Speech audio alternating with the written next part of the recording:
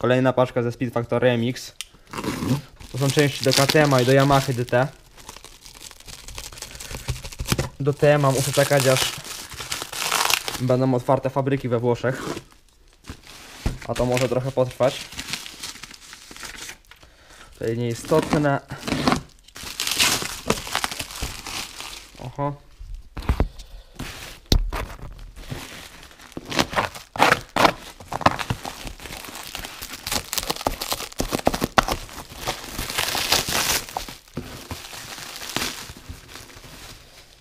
Dobra, tu jest tak. Prox. Nowiuszki kosz.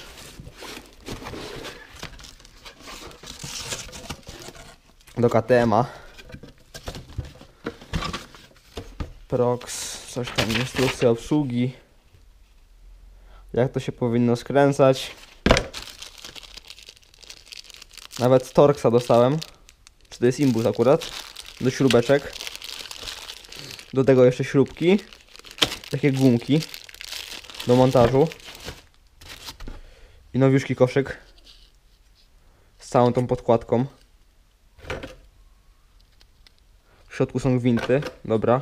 To do KTM-a. Będzie trzeba ściągnąć tą zębatkę jakby y, z tego seryjnego kosza. Tam są nity. Trzeba je po prostu rozwiercić. I wtedy to wszystko schodzi. Nakłada się drugi kosz. I to wszystko wtedy ładnie chodzi. Dobra, więc to jest fajne. To jest tutaj. To było tak. Zapakujemy to na razie, nie będę tego ruszał. Tu są części pewnie do Yamahy. Wszystko fajnie zapakowane.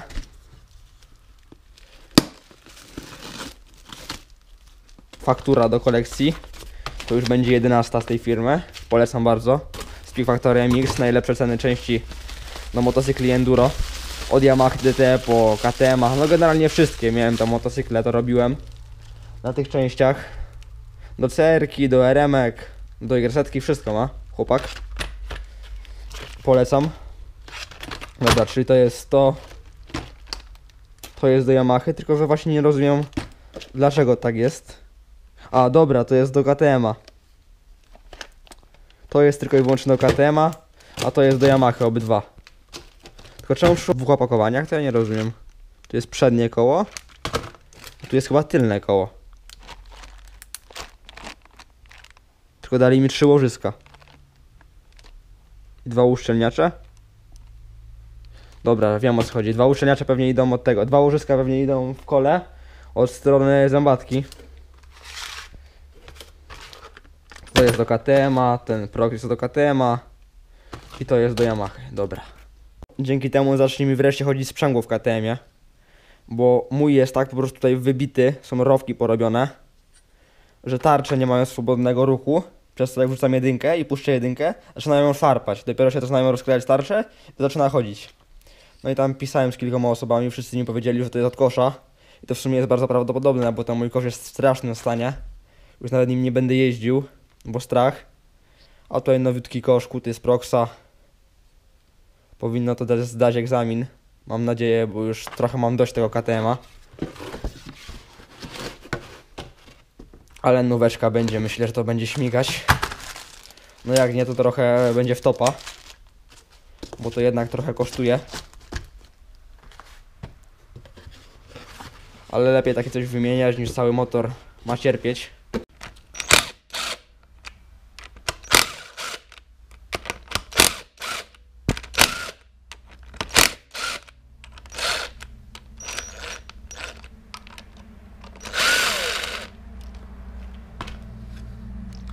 To i tak wszystko pójdzie do mycia.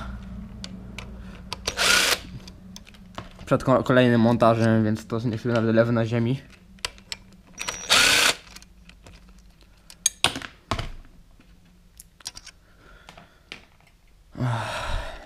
Kosz sprzęgłowy trzeba wymienić.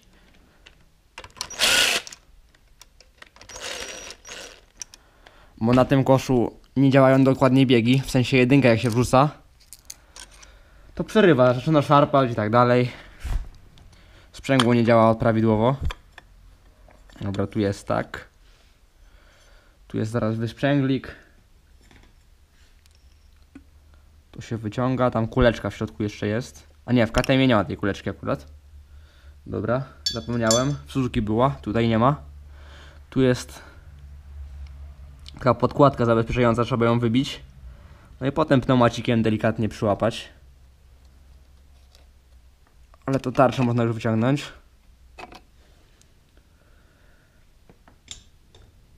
Delikatnie wszystko.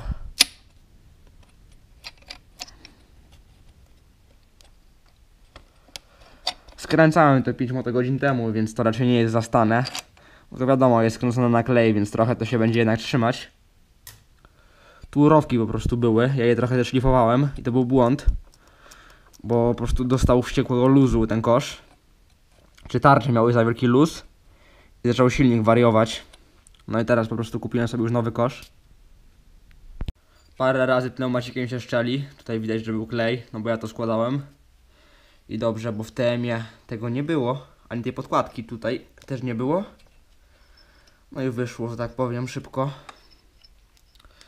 Tutaj widzę, że klej zablokował to, to wszystko, dlatego ciężej będzie mi to ściągnąć. Znaczy no ciężej, wkręcę sobie tutaj dwa gwinty i po prostu wyciągnę. A tak, z takich ciekawostek w sumie, bo to jest dosyć istotne. Tutaj na koszu jest gwint normalny, czyli odkręca się w lewą stronę. Jak macie tak, to się odkręca w lewo, w tą stronę, a na wale jest na odwrót. No ja miałem z tym problem, męczyłem się tam z tym dwa dni i dopiero jakiś chłopak od kanału właśnie mojego mi napisał, że słuchaj, zadzwonię do mechanika i potem powiem. No i z jego pomocą powiedział mi, że słuchaj, musisz kręcić w drugą stronę. Czyli tak jak zakręcacie, tak odkręcacie ten gwint. I o, zacząłem kręcić w drugą stronę, no jakoś to puściło, a było blisko, żeby mu szkodził wał. Dobra, ściągnę sobie to wszystko i potem jeszcze pokażę sobie jak wygląda. Taki mały patent w sumie, to jest ściągacz z wału do sendy, do rozpowiadania silnika i tu są po prostu w piastę wkręcone dwie śrubki od piasty, a to spiera się na wałku. I schodzi sobie elegancko piasta palcami, bez żadnych uszkodzeń, bez niczego. O.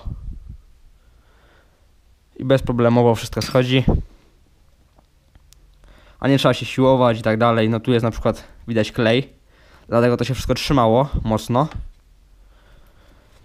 Powchodził po prostu między piastę a to i nie chciał puścić. A to wystarczyło lekko tylko sposobem, a nie tu się z tym. Tu jest taka podkładka jakby. A i w środku tej podkładki, właśnie. W środku tej podkładki są dwa łożyska. No i tu jest oczywiście podkładka między koszem a a karterami. To jest w każdych motocyklach. No jeszcze nie spotkałem się w motocyklu, w którym tu nie byłoby tej podkładki.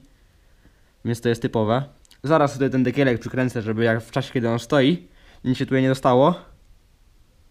Ale żadnych opiłków tutaj nie pływa i tak dalej, więc to nie jest skrzynia biegów. To nie od skrzyni zależało, tak szarpał ten silnik. To musiała być wina ewidentnie sprzęgła. Zaraz pokażę o co chodzi. Pokażę tutaj powód, dla którego zmieniłem ten kosz, czy będę go zmieniał dopiero.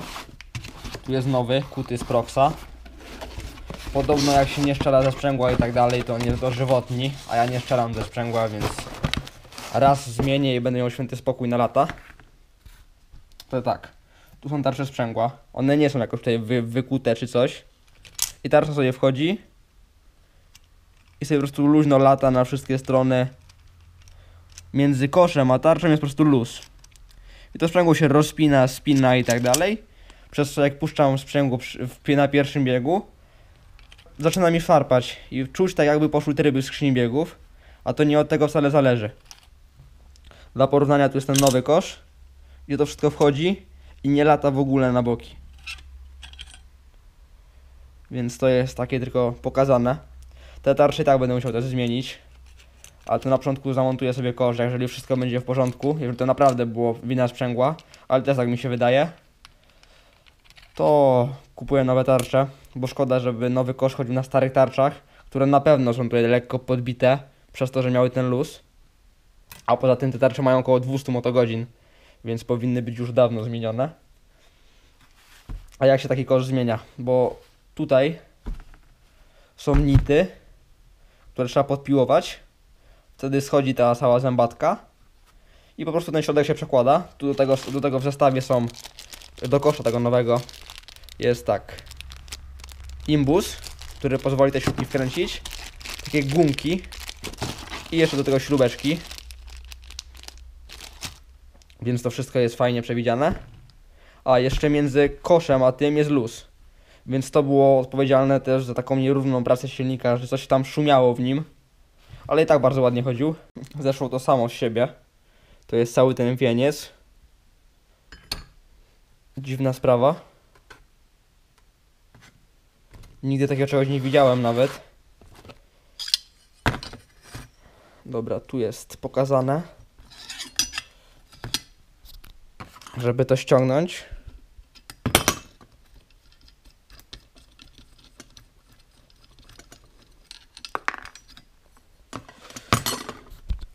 I teraz może będę się wzorował tym. Bo tu w zestawie jest kolejny zestaw gumek nowych.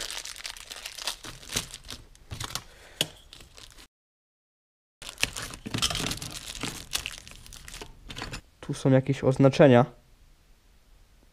Ale z tamtej strony z tej strony nie ma tych oznaczeń, chociaż A nie, dobra. To powinno iść chyba tak. Na odwrót. Obrócone powinno być.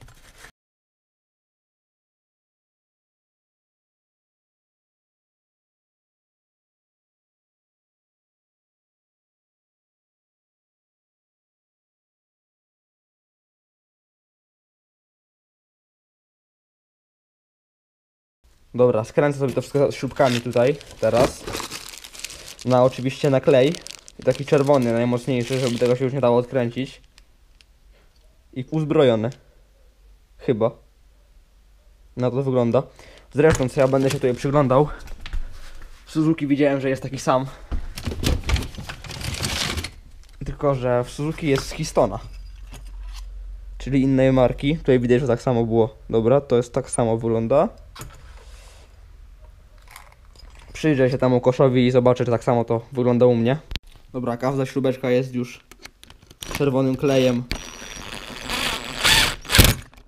potraktowana.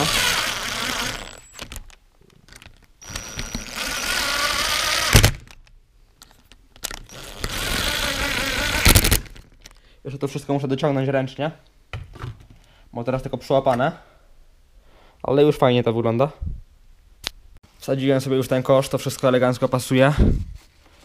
Tu już muszę wyczyścić sobie powierzchnię pod klej. Tutaj nie dam czerwonego kleju, tylko taki niebieski, trochę słabszy. Tu jest podkładka wbudowana jakby w tą tulejkę. Na to nachodzi oczywiście piasta.